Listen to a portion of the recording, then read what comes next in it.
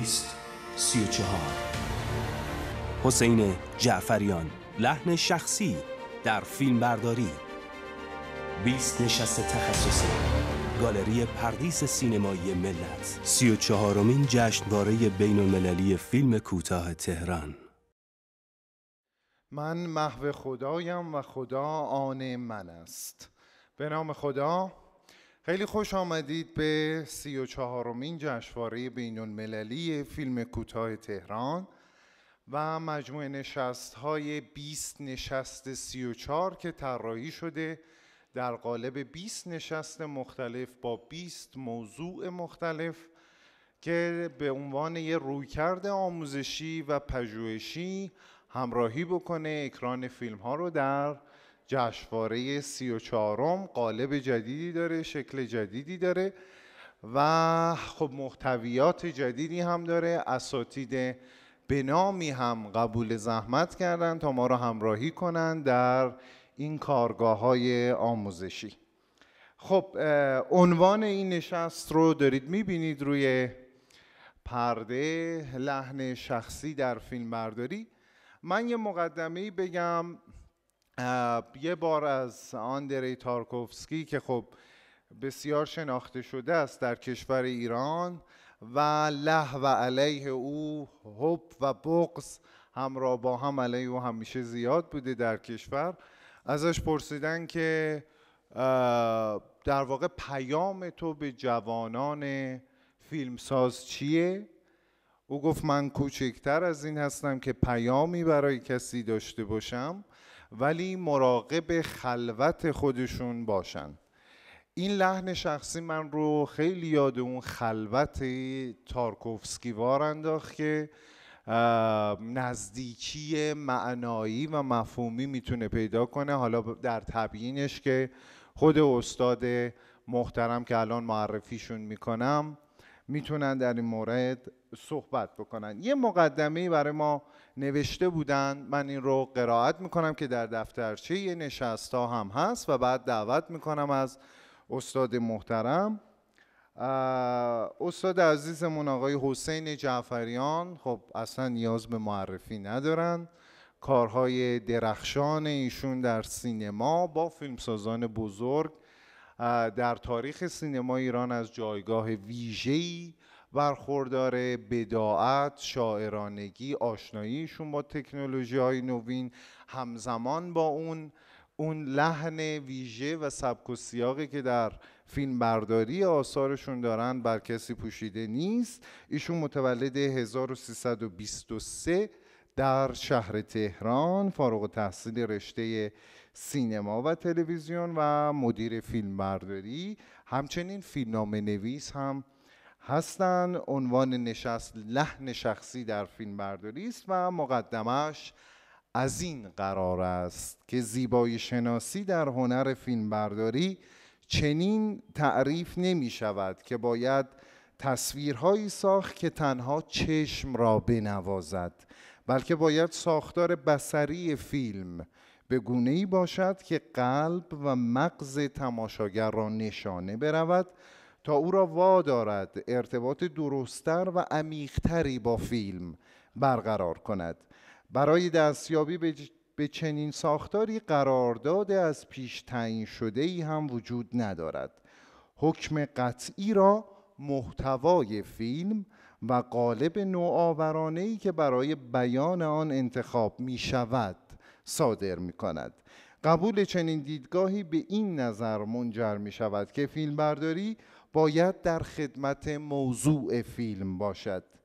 وقتی فیلمبرداری در کلیه آثارش کوشیده باشد از چنین سبک و سیاقی تبعیت کند طبیعتا به تجربه هایی دست پیدا می کند که بازگو کردن آنها می تواند هم برای فیلمبردارهای جوان و هم برای کارگردانهای تازه به میدان آمده راهنمای خوبی باشد تا اگر آن را مطابق سلیقه طرز فکر و نحوه نگاه خود به مقوله فیلم و فیلمسازی یافتند در آثار خود به کار گیرند. با این مقدمه زیبا که خود آقای جعفریان زحمت شو کشیدن دعوت می‌کنم از استاد حسین جعفریان تا روی سن تشریف بیارن اون قسمت و به ارائه موضوع بپرس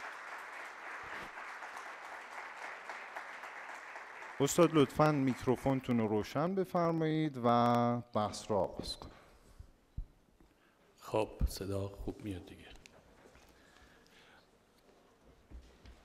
اولا سلام عرض می‌کنم خدمت دوستان. خیلی خوش اومدید و خوشحالم در این فرصتی که یک ساعت چنیمی که در خدمتون هستم.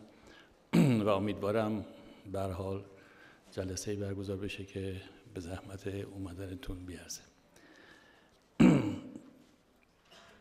من در مورد لحن شخصی در فیلم برداری یا میشه به نوعی گفت سبک فیلم برداری هر فیلم بردار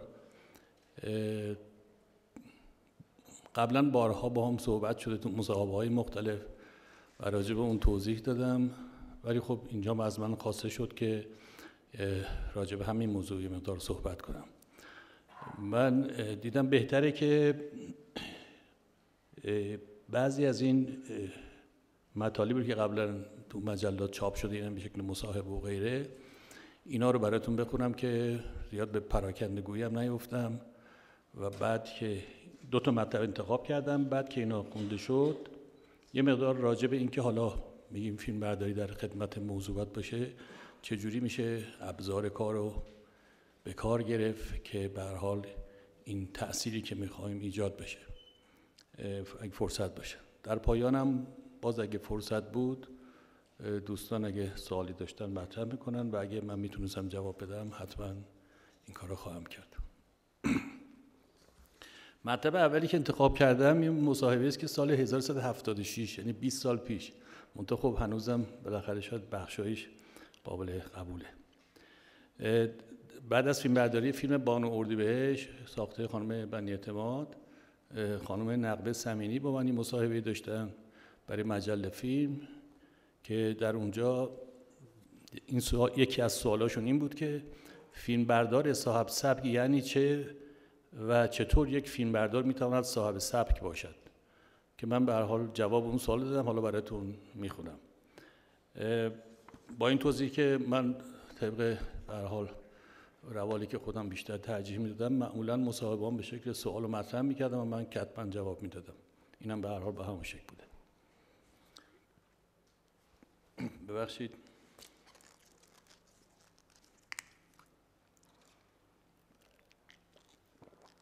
باید یه آچار بزنیم تو جیبم در این شیشه ها رو باز کنیم. اینقدر سخت باز میشه.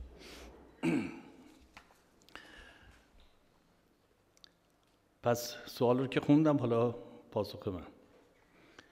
فیلم برداری وسیله است برای پیاده کردن ایده های کارگردان. و همین دلیل باید گفت فیلم برداری هنری است در خدمت. با چنین تعریفی آیا می توان در کار فیلم برداری از سبک دم زد؟ یعنی اصولا سبک فیلم برداری وجود دارد؟ من معتقدم که بله وجود دارد. هرچند هستند فیلم بردارهایی که این نظر را قبول ندارند. تصویر مهمترین ابزار کار کارگردان سینماست که اینو همه می‌دونیم او به کمک تصویر ایده هایش را به شکلهای مختلف به نمایش می‌گذارد و در این کار مجبور است از توان تخصصی و خلاقیت های فردی مدیر فیلمبرداری استفاده کند.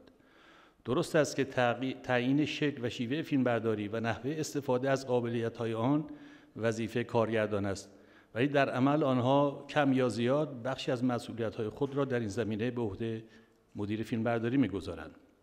اگر همچنین نکنند هنر و فن فیلمبرداری ماهیتا طوری است که در اجرا سلیقه مدیر فیلمبرداری خواهناخواه در ساخت یک فیلم نقش مهمی ایفا می کند به شکلی که اگر فرزن فیلمبرداری فیلم بی دو, دو مدیر فیلمبرداری صورت بگیرد نتیجه کار مطمئنا متفاوت خواهد بود. بر همین اساس سینمای معلف اگر مطلق بودن نقش کارگردان در تعلیف یک فیلم از آن مستفاد شود وقتی واقعیت پیدا می کند که کارگردان فیلم برداری فیلم خود هم باشد. پس می شود نتیجه گرفت که ساختار بسری فیلم و ایجاد زمینه برای درگیر کردن تماشاگر با درام یا بار نمایشی اثر جدا از کارگردان تابع ذوق و سلیقه و توانایی های فردی مدیر فیلم برداری هم هست. اعمال این ذوق و سلیقه موجب بروز ویژگی های در کار مدیر فیلم برداری خواهد شد که می‌توان آن را سبک نامید. در تعریف سبک در تعریف سبک فیلم برداری می شود از زاویه های مختلف به موضوع نگاه کرد و به نتیجه های متفاوتی رسید که در ادامه به چند نمونه اشاره می کنم. خواستم توضیح بدم که به حال چه اتفاقایی میفته در رابطه بین کار فیلمبردار و کارگردان با, با, با, فیلم و که میشه اینا رو به حال به نوعی تاثیرهایی رو کارش می‌ذاره که میشه اینو به نوعی سبک تونست. و الزاما همه اینا رو من خودم ممکنه به عنوان سبک قبول نداشته باشم ولی به هر حال خواستم یه خود مطلب رو بازتر کنم و توضیح کاملتری بدم. در شرایط عادی یعنی زمانی که مدیر فیلمبرداری حق انتخاب دارد برای کار فیلمهایی را برمیگزیند که با محتوای آنها هم رأی یا همدل باشد. در نتیجه احتمال دارد با تکرار شیوهی واحد در به تصویر کشیدن محتواهای مشابه یا یک گونه خاص فرزن فیلم های اجتماعی به زبان ویژه‌ای تص پیدا کند که بتوان با آن گفت سبک. انتخاب های این دست از مدیران فیلمبرداری بر اساس درک هنری، جهانبینی، دیدگاه های فکری، علائق و عواطف شخصی، ذوق و سلیقه و بالاخره تجربه هایی که در زندگی فردیشان به دست آوردهاند خواهد بود که به هر روی در کارشان باستا پیدا می کند این یه نمونهش بود. نمونه دیگه گاهی یک مدیر فیلم برداری با کارگردان واحدی کار می کند و همین امر کیفیتی به کار او می دهد که می توان آن را به سبک تعبیر کرد. در چنین حالتی سبک کار مدیر فیلم برداری تابع سبک کار سبک کار و زیبایی شناسی و جهان فکری کارگردان خواهد بود. هرچند ممکن است کارگردان تحت تاثیر مدیر فیلمبرداری خود قرار گرفته باشد. نمونهش مدیر فیلمبرداری فیلم های برگمن. باز نمونه دیگه بعضی از مدیران فیلمبرداری از جنبه اجرایی پایبند سلیقه خاصی هستند که آن را در تمام فیلم ها تکرار می کنند بدون توجه به نوع فیلم و محتوای آن. فرزن یکی همیشه از نورهای برنگ آبی یا قرمز یا نارنجی استفاده می کند دیگری علاقمند است که بیشتر لنزهای تلفوتو را به کار بگیرد و تاکیدش بر نماهای بسته باشد. سومی فیلمبرداری روی دست را ترجیح می‌دهد و چهارمی عاشق کنتراست زیاد است. طبیعی است که چنین فیلمبرداری هایی رفته رفت چنین فیلمبردارهایی رفته رفته در اجرای تکنیک خاصی تبهر پیدا می کنند و بعد خود این تبهر از سر محافظه کاری عاملی می شود برای تکرار پرداختی که خدا در اجرای آن توانا می بینند. ممکن است بعضی ها این ویژگی را هم سبک تلقی کنند سبکی که از جنبه هنری فکر می کنم اعتبار چندانی ندارد چون به جای ریشه داشتن در خلاقیت و چالش با موضوع بیشتر بر تجربه فنی امتحان پس داده شده فیلمبردار تکیه دارد. معمولا کارگردان های نوجویی که بر ابزار کار خود تسلط دارند با اعمال سلیقه های از این دست به اعمال سلیقه های از این دست میدان نمی‌دهند. تعدادی از مدیران فیلمبرداری باز دارم میرم سراغ نوع دیگهش. تعدادی از مدیران فیلمبرداری صرفا به دنبال نوآوری هستند و میکوشند در هر فیلمی به زبان تازه‌ای دست پیدا کنند. با اینکه نوآوری از اصول پایه‌ای آفرینش اثر هنری است ولی الزاما تمام نوآوری ها خلاقه محسوب نمی شود. افراد در این زمینه به خصوص در هنر واسطه‌ای و غیر مستقلی مثل فیلمبرداری ممکن است به کل کار لطمه بزند و زمانی کاملا تأثیر منفی به جا می‌گذارد که بهانه‌ای باشد برای پوشاندن ضعف‌ها و کم تجربگی ها. به عهده کارگردان است که از زیاده روی ها در این زمینه جلوگیری کند. با این همه نوآوری را هم می‌توان یک نوع سبک دانست. سبکی که البته اگر به پشتوانه دانش توانایی و تجربه مدیر فیلم برداری و متناسب با مضمون فیلم به ایجاد درآمده باشد منجر به خلق آثار درخشانی خواهد شد. میرم سراغ نمونه بعدی. تعریفی که هر مدیر فیلمبرداری از حرفه خود دارد نیز می‌تواند موجد سبک باشد. گروهی از مدیران فیلمبرداری معتقدند که فیلمبرداری باید در خدمت موضوع فیلم باشد. دسته دیگر بر این باورند که مدیر فیلمبرداری صرفا باید به زیبایی تصویرهایی که می‌سازد بیاندیشد و بدون توجه به محتوای فیلمها تلاش کند تصویرهای خوش آب و رنگ و چشنواز ارائه دهد این گروه گرچه مدعی به کارگیری زیبایی شناسی و درک و تحلیل شخصی خود از هنر فیلمبرداری هستند ولی به نظر می‌رسد بیشتر تابع ذوق و پسند تماشاگر عادی هستند. این دو دیدگاه به وجود آورنده دو شیوه کار خواهد بود که از آنها هم می‌توان استنباط سبک را داشت دو سبکی که فارغ از جزئیاتی قبلا توضیح دادم شاید بتوان در یک تقسیم بندی کلی فیلمبردارها را تابع یکی از آنها دانست. در عمل سبک نخست بر جنبه های هنری، فرهنگی و اجتماعی فیلم تاکید دارد و سبک دوم بر جنبه های تجاری. البته پرداخت های بینابینی هم وجود دارد. حتی آنهایی هم که متعصبانه از دیدگاه خاصی تبعیت می‌کنند گاهی مجبور می‌شوند گوشه چشمی به نگرش های مقابل داشته باشند. به خصوص وقتی که نظر کارگردان و فیلمبردار هم راستا نباشد. چقدر حوصله داشتم چه جوابای طولانی می‌دادم. این تازه جواب یکی از سوالا بوده. در مورد اینکه از بین تعریف های فوق درباره سبک فیلمبرداری کدام درستتر و قابل اعتمادتر است نمی‌توان حکم قطعی صادر کرد. اما از نظر شخصی اگر فیلمبرداری در فیلمبرداری در خدمت موضوع فیلم را به عنوان یک سبک بپذیریم می‌توانم بگویم طرفداران هستم. با این تاکید که در پیروی از این سبک هنگام روبرو شدن با موضوعهای مشابه و نزدیک به هم باید ضمن پرهیز از تکرار کوشید برای هر فیلم از جنبه بسری قالب تازه پیدا کرد. قبول کنیم که چارچوب های محدود و از پیش تعیین شده وجود ندارد. مثل آهنگسازی عمل کنیم که قادر است آهنگ های بدی و دلنشین را در دستگاه های موسیقی که بارها استفاده شده خلق کند. آنچه که درباره سبک فیلمبرداری گفتم نظری شخصی. احتمالا همه با آن موافق نخواهند بود. پس بهتر از فعلا به آن ویژگی که موجب می شود پس از تماشای فیلمی حدس بزنیم که فیلم بردارش کیست بگوییم سبک. این را هم در نظر داشته باشیم که سبک ها معمولا اول تعریف نشدند تا بعد به اجرا درآیند بلکه نخست اجرا شدند و بعد با توجه به آثار خلق شده سبک ها تعریف شدند برای همین شاید بسیاری از مدیران فیلمبرداری صاحب سبک واقعا ندانند که چگونه به سبک خاص خود دست پیدا کردند. این پاسخی بود که به حال در جواب خانم سمینی داده شد. مطلب دوم که در همین ارتباط هست و در واقع تو بیشتر خواستم بپردازم به اینکه فیلم برداری در خدمت موضوع یعنی چی و چجوری می‌تونیم اونو به جا در بیاریم. این مطلب در سال سه سال پیش در جشنواره سی و سوم به حال دوست داشتن مسئولان جشنواره بزرگ داشتی برای من گرفتم و یک کتابی به اسم بربوم شب به احتمام خانم ندا فضلی منتشر شد که در اون کتاب یه سری سوال کردن راجع به مسائل مختلف فیلم برداری و از جمله همین قضیه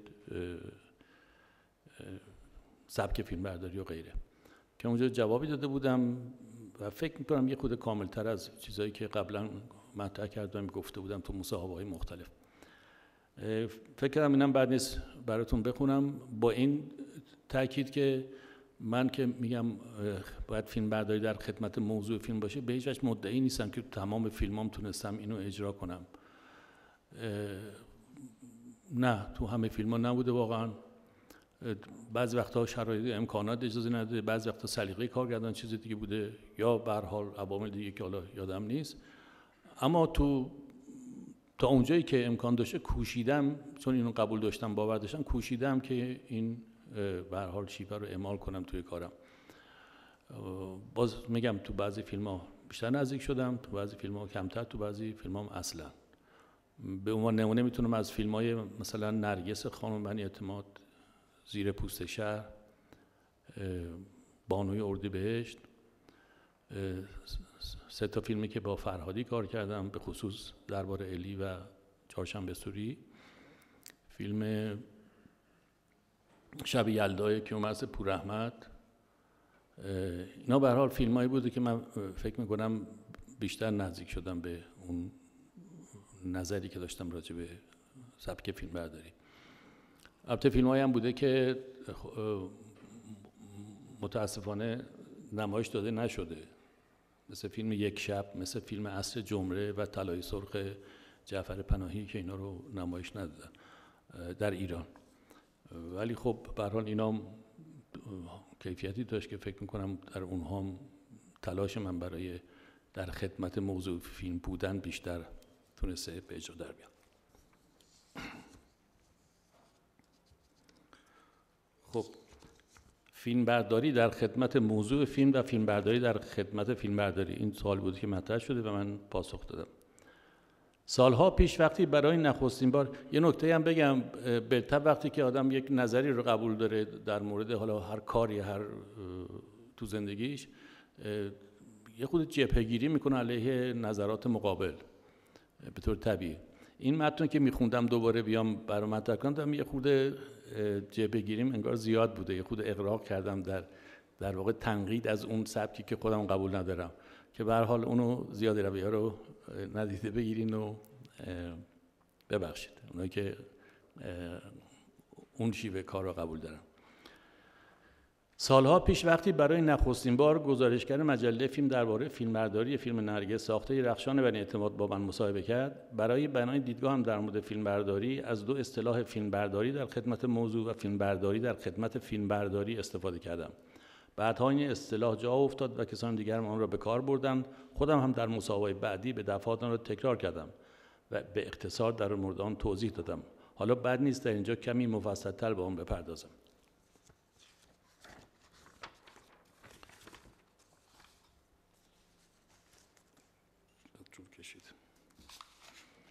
به اعتقاد من در بین فیلمبرداران قدیمی هوشنگ بهارلو اولین فیلمبرداری بود که در سینمای ایران ضمن هویت بخشیدن به هنر فیلمبرداری کوشید تصویرهایی که ارائه می‌دهد در خدمت موضوع فیلم باشد. یکی از بهترین آثارش در این زمینه فیلم سوت دلان, سوت دلان زنده یاد علی حاتمی است.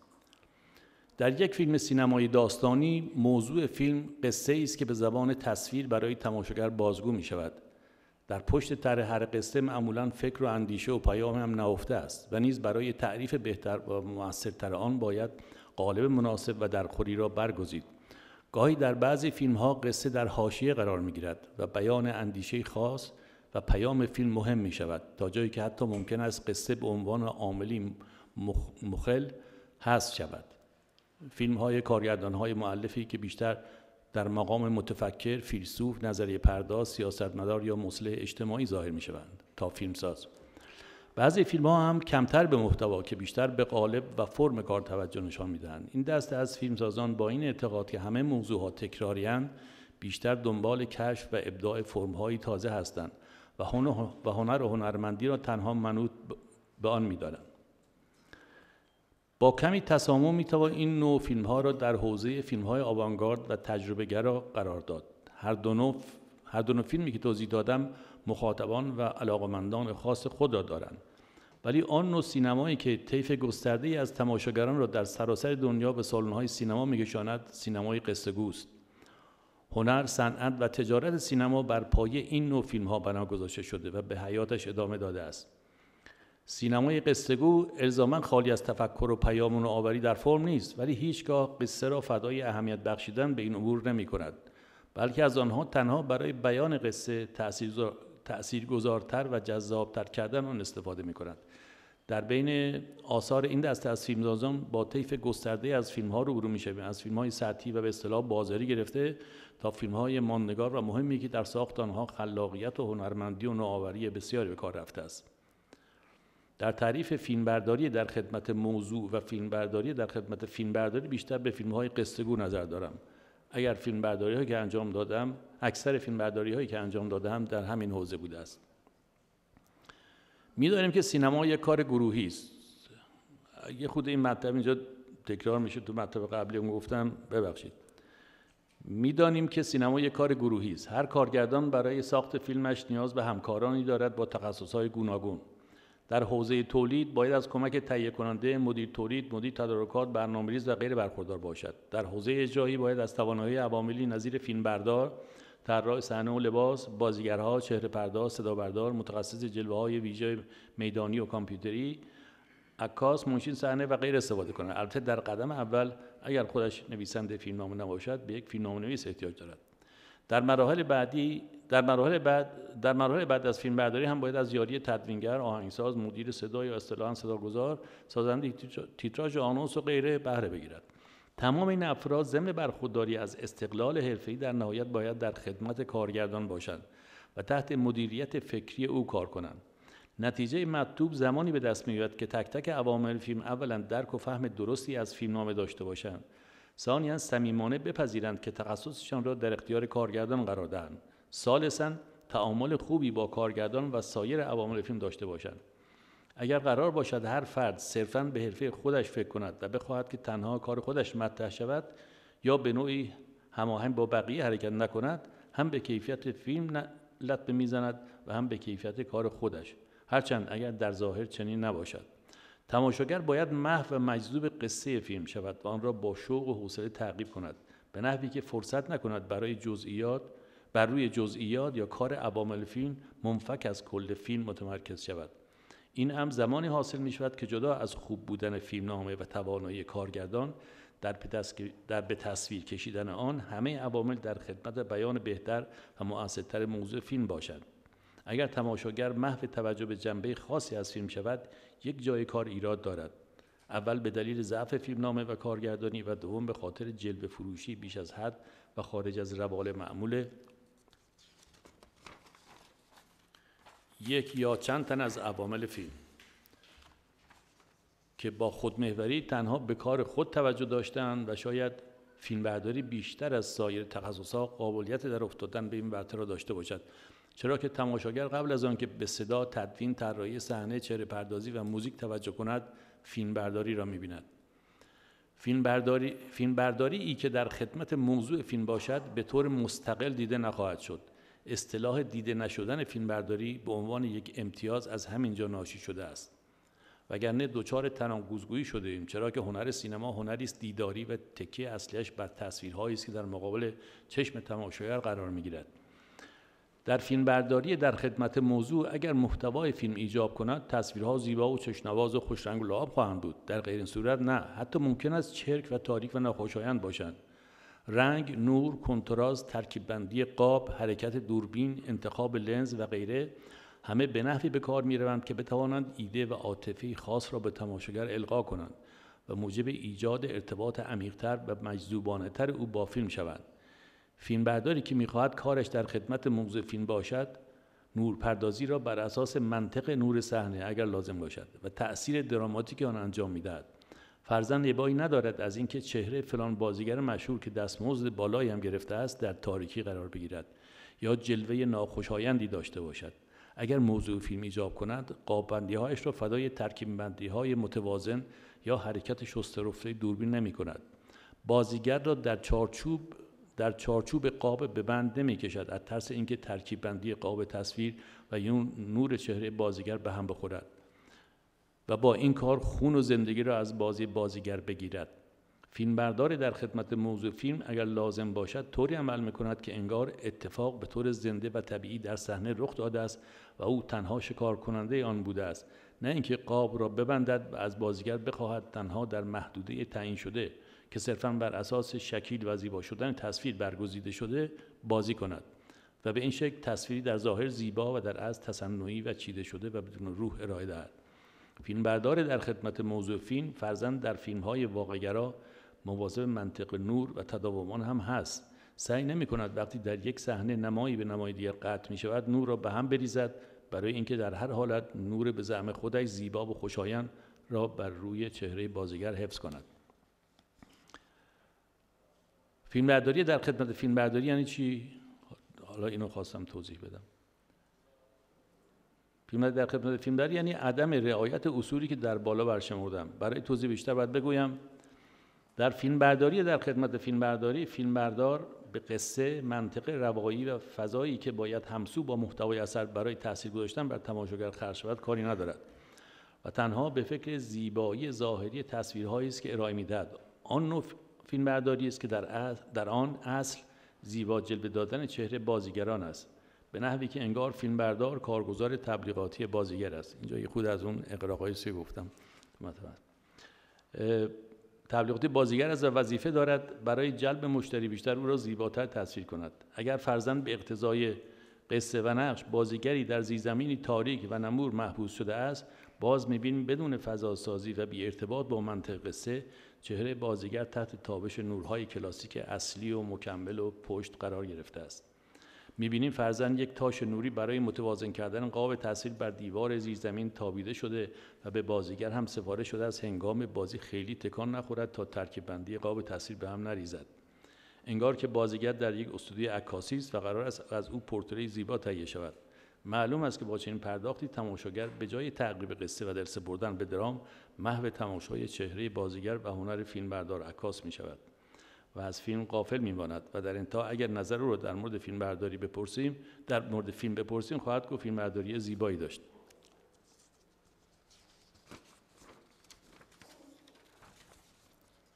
فیلمبرداری در خدمت فیلمبرداری فیلمبرداری است که در آن فرزند در یک صحنه صحنه پرتنش و دلهره آور جنگی فیلمبردار قبل از هر چیز دنبال شاخه درخت یا ابرهای پنبه‌ای در آسمان میگردد. تا ترکیب بندی قاب متوازن ایجاد کند. آن نوع فیلمبرداری است که فیلمبردار فرزند در یک فضای روستایی فقر زده و با حوادثی تأثیر برانگیز بدون منطق نورهای رنگی دیسکویی را سرازیر می‌کنند در اتاق محقر تا تصویر چشنواز بسازد. از هر سوراخ و سنبه نورهای آبی قرمز سبز غیره در فضای اتاق لوله می شود تا چشم تماشاگر را خیره کند. فیلمبرداری در خدمت فیلمبرداری آن نوع فیلمبرداری است که در آن فیلمبردار فرزند در یک شب بارانی که قهرمان فیلم ترسان در حال گریزه است باز هم دست از سر نورهای آبی بر نمیدارد و آنها را از چپ و راست بر صحنه میریزد دنبالی هم نیست که نورش لاقل کمسو و کم کنتراست باشد شبیه نور محتاب حالا غیر منطقی بودن نور محتاب در شب بارانی را هم نادیده می‌گیریم چنین فیلم برداری اگر امکاناتش در حدی نباشد که بتواند منبع نور آبی را در فاصله مناسب قرار دهد تا با روشنتر کردن بخشهایی از قطرهای باران لو نرود باز هم دست بر نمیدارد. فیلم برداری در خدمت فیلم در اگر فرزند در صحنه در جنگل قاتلی مرتکب جنایتی شده و در حال فرار است و گروهی او را تعقیب می کنند به جای متأثر کننده نشان دادن جنایتی که صورت گرفته و حول و حراس و تعلیق موجود در تعقیب و گریز فیلمبردار بدون توجه به این نکات یک سری نماهای باز و ثابت کارت پستری از جنگل و زیباییهایش ارائه دهد با ابرهای پنبه‌ای در آسمان آبی در حالی که شخصیت ها در اون با حرکتی خونسا به, هم به دنبال هم می‌دوند. اینا نمونه هاشو دیدم تو فیلم و بعضی فیلم ها که البته اینجا گفتم حالا میگم که یک کم شاید اقراق کردم.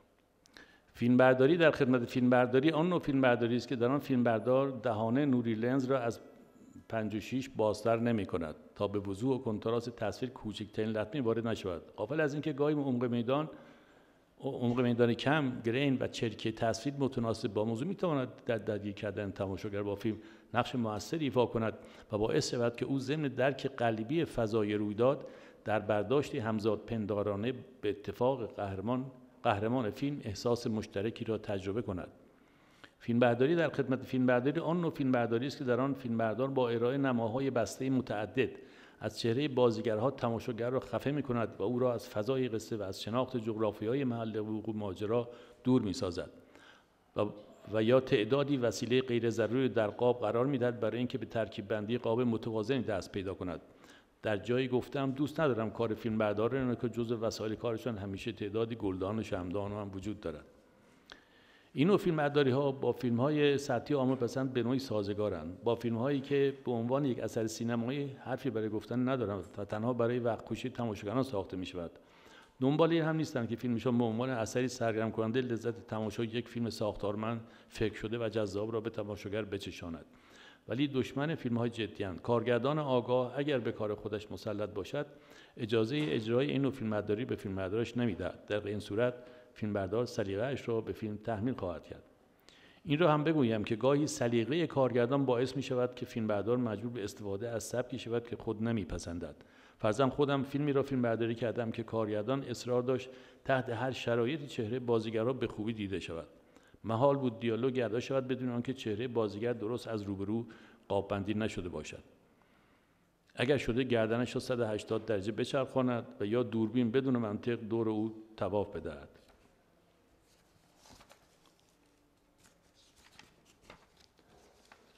این پاسخی بود که اونجا دادم به حال میگم یه مقدارم بیشتر پرداختم به بخش نوع فیلم برداری که قبول نداشتم یا دوست نداشتم.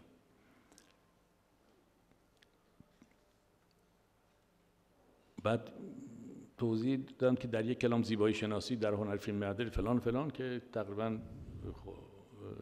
خلاصه است از اون مطلبی که برای بروشور جشنواره نوشتم. یه تیکه دیگه هم بخونم دو سرتون رو زیاد درد نیرم ولی قبلش یه توضیح بدم. من سال 1370 فیلم نرگس رو کار کردم. ساخته خانم بنی اعتماد. قبل از اون فیلم نقش عشق زنده یاد شهریار پارسیپور رو کار کرده بودم. این دوتا فیلمی بود که تقریبا من نزدیک شده بودم به اون سبکی که دوست داشتم و قبول داشتم. و توی جشنواره بهش توجه شد. فیلم اول کاندید مثلا بهترین فیلم برداری شد. فیلم نرگس هم دیپلم افتخار بهترین فیلم برداری ولی بیرون بهش خیلی توجه نشد. نه از طرف منتقدین و نه به حال بقیه عوامل و به خصوص اونایی که دستشون تو کار ساخت فیلم بود. و من حقیقتش مدت بیکار بودم به خاطری که رفت بودم سراغ این نوع سب و فکر کنم بیشترم ها مخالف بودن. حتی من گفتم بابا این چیه تاریکی اینقدر تصویراش ما پول میدیم باز... به بازیگرمون بیاد مثلا اینو بذاره تو تاریکی. که به تب خب بیکاری و به دنبالش هم بیپولی یه مقدار دلخوری پیش می آورد و طبق معمول که هر وقت از چیزی دلخور میشم شروع می‌کنم راجبش می‌نویسم و بعد پروندهش می‌ذارم کنار دیگه فراموشش می‌کنم. اون موقع هم یه مطلب بلندی نوشتم راجب همین قضیه در واقع نقدم راجبه اون اون فیلم برداری بود که در الان بهش توجه میشه و در واقع ندیدن کار من و توجه نکردن کار من. بعد که یه فرازهایی ازش رو برحال انتخاب کردم بخونم که یه مقدار با تنز و مطایبم هست و یه مقدارم نصرش نصر خاصی بود. حالا به حال بد نیست. خارج از لطف نیست. اینم بخونم. در سالهای دور وقتی احساس کردم آن نوع فیلم برداری که قبول دارم خواهان چندانی ندارد مطلبی نوشتم با نسلی متفاوت و با اندکی تنز و مطایبه. شاید خالی از لطف نباشد که آن را در اینجا نقل کنم. با این توضیح که کلا مطالبی که درباره فیلم برداری در خدمت فیلم برداری نوشتم یا در ادامه می نویسم برای گویاتر شدن توضیح ها خالی از اغراق نبوده است و نیست. یک فیلمبردار زمانی موفق خواهد شد به خلق و ارائه یک فیلمبرداری خوب و منطقی و هنرمندانه که نخست بتواند ارتباط فکری و عاطفی لازم را با فیلم نوشته و کارگردان یعنی ناقل هوشمند و متکر محتویات فیلم نوشته از زبان کلمه و کلام به زبان تصویر برقرار سازد و بعد فارغ از ذوق و پسند عوام و یا تهیه کننده تهیه کننده طالب پول کلان به دور از تکرار و کلیشه و نیز بدون واهم از نوآوری و خلق تصاویر تجربه نشده فیلم برداری ارائه دهد که عنوان قالب و ظرف در خور موضوع فیلم باشد و در نمایش و تعریف مظروف به وجه مطلوع ایفای نقش کند. به دیگر سخن ناقل تفکرات و عواطف فیلمساز از این سوی مجموعه اپتیکی دوربین فیلمبرداری به آن سوی سیستم اپتیکی چشم بیننده باشد و بالاخره به زبان نماد و در عالم مثال از نور براید خود نور شود.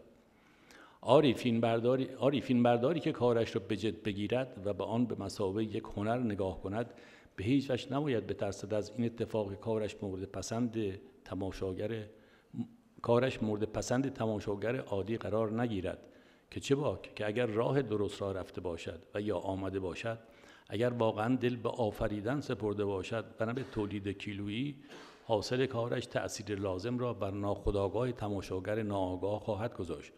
نوری که میفرستد در سنگ زیاه در سنگ سیاه ذهن ساده پسند تماشاگر دفع نخواهد شد بلکه با گذر از الماس ناخودآگاه ذهن او و کمال, کمال طلبی فطریش به هزار سوی خواهد تابید و دل و مغزش را روشن خواهد کرد.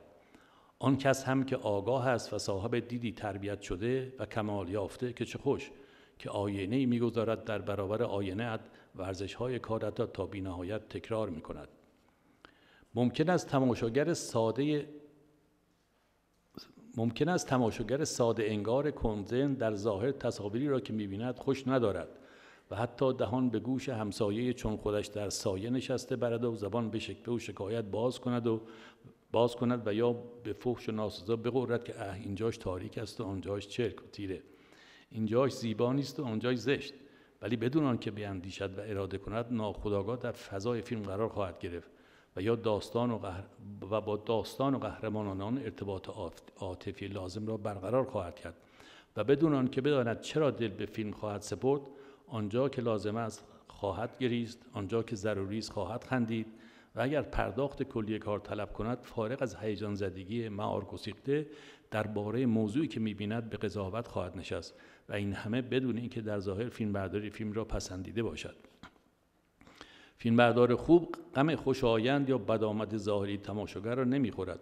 او تنها در پروای ایجاد ارتباط عاطفی و فکری بین فیلم و تماشاگر است. تازه وقتی پا پس نگشیدی و راحت را رفتی و تن به ذوق قبول عام یافته ندادی تماشاگر سادگیر ساده پسند هم بالاخره خواهد فهمید که چرا دل به تصاویر تو می‌دهد چرا فیلم تو را درک می‌کند. بعد از آن دیگر فریب زرق و برقهای ظاهری را نخواهد خورد. با این قید که البته یک دست صدا ندارد و باید چنین شیوهی نه راه یکی دو تن که یک جریان در عالم فیلمبرداری و فیلمسازی مملکتمان باشد. باید که به یاری منتقدان هوشمند و آگاه از کار آنها از کار آنها که با ساده پردازی آب بر آتش فطرت تعالی جوی تماشاگران میریزد جلو گرفته شود. و باقیش که حالا دیگه زیادیه. نبودم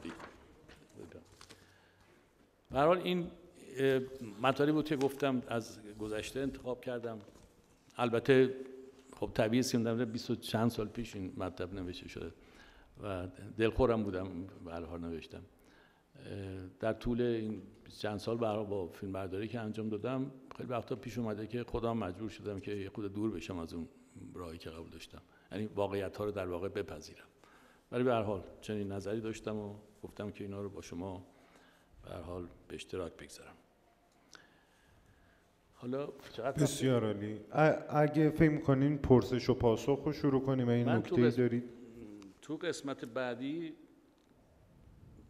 یه رو وقت داریم؟ نه نه تا پنج وقت داریم چلو پنج دقیقه. آه. یه مقدار می‌خواستم راجع به حالا خب این فیلم برداری در موضوع فیلم حالا چجوری عمل بکنیم تو صحنه؟ یه مقدار راجع به ویژگی کار فیلم برداری و چه چیزش باید در خدمت در واقع فیلم باشه صحبت کنم. یه یادداشت خلاصه برداشتم فقط تیتوار که بتونم راجع صحبت کنم. اولین و مهمترین کار یک فیلمبردار نورپردازی فیلمه.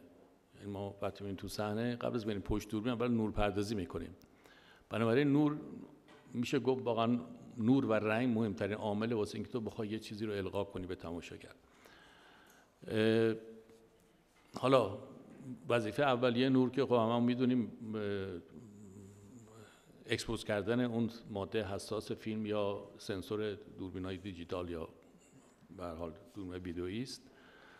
و نقش دومش هم که باز می‌دونیم ایجاد بعد تصویر دو بعدی ایجاد بعد در واقع سوم در تصویری که دو بعد داره. یکی از کارکرد نوره. ولی مهمترین نقشش همون نقش دراماتیک نوره که باید به حال بره کار کنه رو مغز و قلب تماشاگر و اونو همراه فیلم کنه و اون احساسی که کارگردان لازم می‌دونست منتقل تماشاگر یا اون تعلیقی که می‌خواد ایجاد کنه یا به حال حرفی که می‌خواسته بزنه پیامی که می‌خواسته بده اینا تاثیر گذارتر رو بهتر منتقل بشه تماشاگر ما برای نورپردازی خب از این جنبه که دارم میگم با سایه روشن کار می‌کنیم با کنتراست و رنگ. در واقع بریم تو اون باش این سه تا عامل داریم. سایه روشن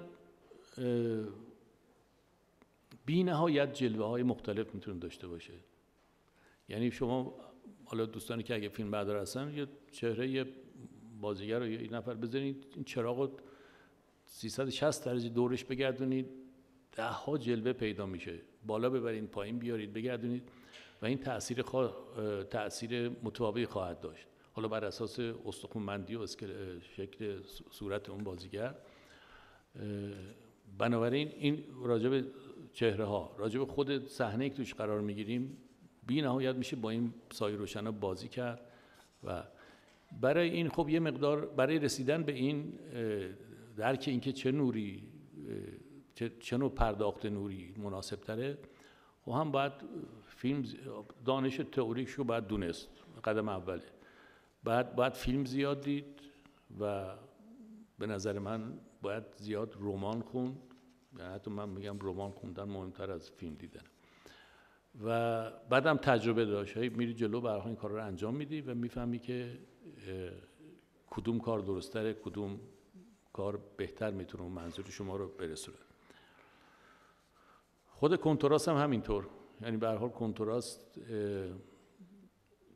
یعنی نسبت بین سایه و روشن خود اینم یه عاملی است برای اینکه ما بتونیم یک حرفی رو بزنیم و یک احساسی رو منتقل کنیم به تماشاگر. اینی که نسبت نور بخش سفید مثلا صورتی بازیگر با بخش تاریکش یا بخش سفید نور صحنه و تاریک چقدر باشه به چه شکل باشه همه اینا به حال می‌تونه نقش مهمی داشته باشه و زیادیش هم خب خوب نیست. یعنی که ندانسته بیا مثلا کنتراست فیلم چون خوشایندتره برای چشم, چشم تماشاگر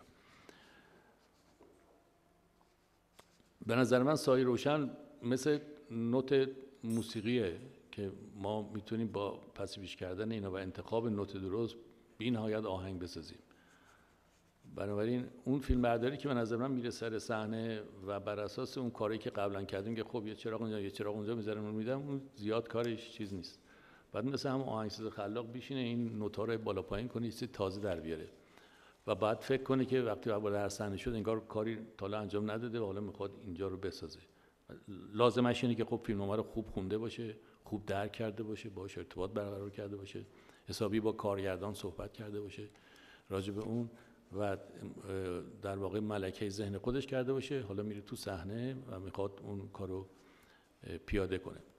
که اگر بخوام توی کار روش روشمندی مثلا این کار انجام بدیم خب اصلا وقتی لوکیشن رو بازبینی می‌کنن و اگر کارگردان قبلا دکوباش کرده باشه و برنامه کاریش بهش داده باشه می‌تونه اصلا قبلا هم فکر کرده باشه و بیاد تو صحنه اجرا کنه.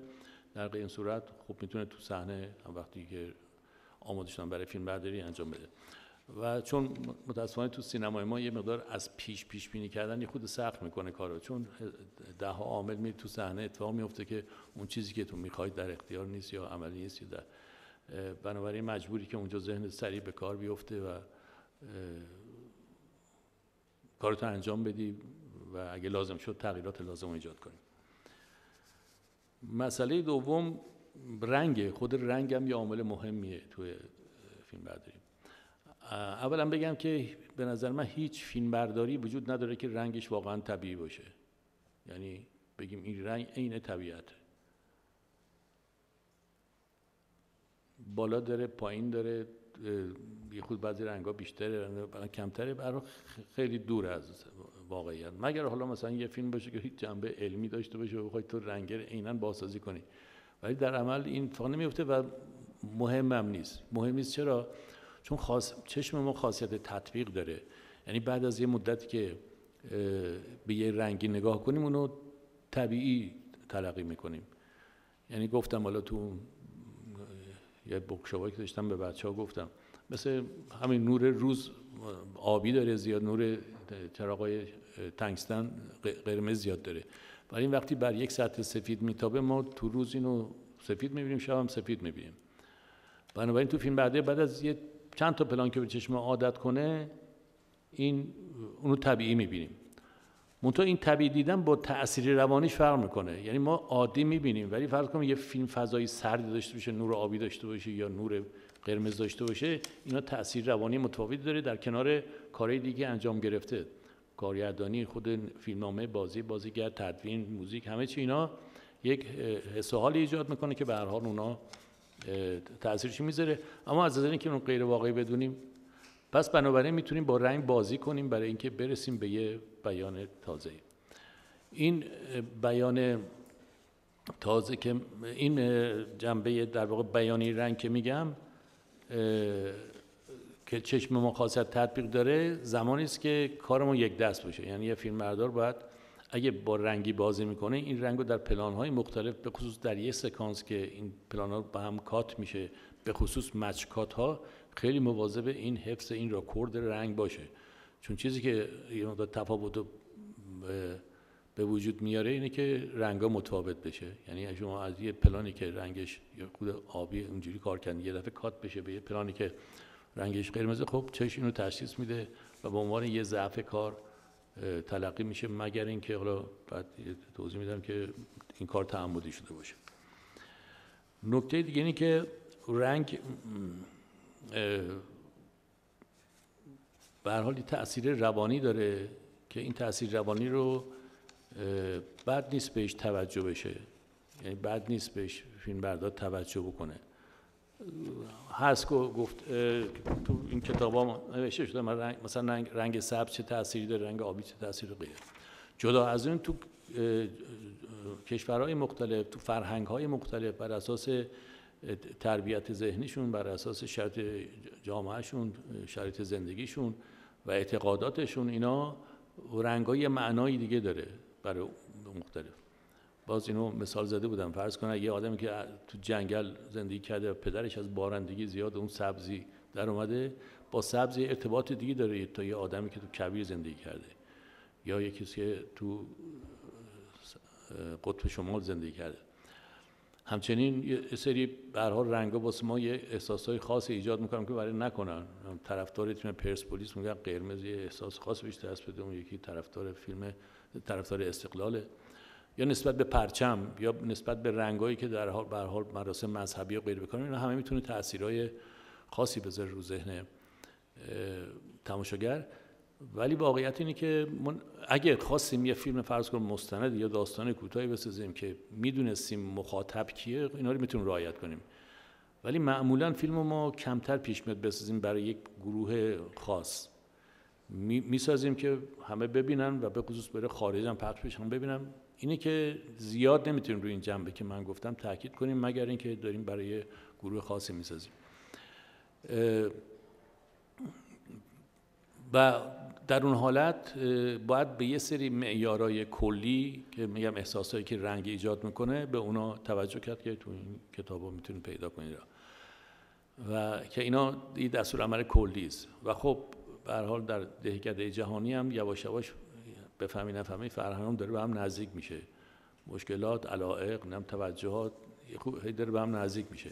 و خود سینما هم یه عاملی بوده که این دامن زده به این قضیه و در واقع مشترک کردن فرهنگ ها و نگاه ها و دیدا و احساس های آدم ها که حالا حتما جنبه بد داره و جنبه خوب هم داره ولی خب حالا بد یا خوب ما دیگه از کاری ازتون بر نمیاد و در اتفاق میفته منتها با همه اینا که میگم باید به جنبه تاثیر روانش فکر کرد این مال زمانی است که می‌خواد خب یه کار معمولی انجام بدی. ولی خارج از اون تو عنوان یه فیلم بردار خود ممکنه به کشف یه رنگی یا یه حال هوایی در نور پردازی غیر برسی که قبلا فکر نشده و اینجاست که مثلا این کارگر یه فیلم بردار خلاق می‌تونه به یه تازه برسه. اینجاست که وقتی فیلم رو می‌خونین بعد تو ذهنتون بسازید که باید چجوری باشه این نور پردازی باید رنگ چجوری باشه و ممکنه در به شکل الهام گونه مثل وقتی که شعر میگید برسید به یک رنگی که اگه ممکنه به بقیه بگیم آقا این رنگ به درد نمی‌خوره این, این, فلان احساس میشه شما فکر کنید نه این باعث میشه که به یه چیز تازه‌ای مطرح بشه که شاید تاثیر خاص خود شده حتی گاهی وقتا ممکنه تعمدن در تضاد با اون چیزی که همه فکر می‌کنن کار بشه. حالا وقتتون نمی‌خوام زیاد بگیرم. دیگه مصاحبه که داشتم در مورد فیلم درباره الی اگه فیلم درباره دیده باشین بخش اولش در واقع رنگ رنگای گرم و به حال تقریبا خوشایند به کار رفته. وقتی فاجعه اتفاق میفته رنگ سرد و آبی بیشتر مسلط میشه. خودم چرک. من خب این کارم قبلا کرده بودم تو فیلم های دیگه. مثلا زیر پوست هستم زیر پوست شهرم همچین حالت رو داشت. اما به آقای فرهادی پیشنهاد دادم که بیام کار عکس بکنیم. یعنی که بیام بخش اول رنگ آبی بزنیم بخش دوم رنگ قرمز. خب این کار غیر معموله و فرهادی هم به درستی نپذیرفت چون واقعا خودمان نمیستم چه تاثیر داره. ولی میشه مثلا تو این کارم کرد برسه به یه بیان تازه. یعنی مثل یه تز و آنتیتزی بشه که یه سنتزی ایجاد کنه که به حال حالا درسته این کار رو شاید بیشتر بیشتر تو فیلم های تجربی انجام داد. یعنی خطر تو فیلم داستانی که به حال کلی هزینه شده و باید مطمئن باشیم که تاثیر معکوس رو نمی‌ذاره. می‌خوام بگم که میشه اینجوری هم به مسئله رنگ و غیر اینا نگاه کرد. یه باز بیشتر چیز نمیرم جلو. مسئله بعدی خود انتخاب لنزه یعنی دارم این عواملی رو که در واقع می‌تونه در اختیار ما باشه واسه اینکه اون فیلم برداری اون در خدمت موضوع باشه رو صحبت می‌کنم. که خب باید با زیبایی شناسی لنزا آشنا باشه فیلم بردار و اونا رو بهش توجه کنه موقع کار می‌کنه. هر کدوم از این لنزا بر اساس فاصله کانونیشون و عمق میدانی که دارن و تأثیری که روی پرسپکتیو ارتباط اشیای دور و نزدیک با هم و فاصله ها می‌ذارن و, و زاویه‌ای که لنز پیدا می‌کنه زاویه متعادل زاویه کج شده زاویه بالاست زاویه پایینه. اینا هر کدوم یک به حال بیانی برای خودشون دارن که یک فیلم برداری با تجربه و می‌تونه از اینا استفاده کنه. واسه که همون که گفتم فیلم برداریش در خدمت موضوع فیلم باشه. بخش بعدی حرکت دوربینه که باز اینا همه می‌تونه حساب شده باشه برای رسیدن به اون نکته که گفتم. پن و تیت و حال تراولینگ و کرین و نمی‌دونم انواع اقسام حرکات حالا هم که خوشبختانه در دنیای دیجیتال با آمدن ابزار وسایل جدید همه جا دوربین می‌تونیم ببریم دیگه می‌تونیم آسمون ببریم ببریم بالا. اون سختی های سابق وجود نداره. و اینا هر کدوم برای خودش معنایی داره که باید متناسب با موضوع فیلم باشه و درست انتخاب شده باشه خلاقانه انتخاب شده باشه می‌تونه کمک کنه به ما. لازمش هم البته اینه که از تئوری این تفاوت‌ها رو بشناسیم بدونیم مثلا واقعا لنز تله با لنز واید و لنز نورمال چه تفاوت داره حرکت تراولینگ با حرکت زوم چه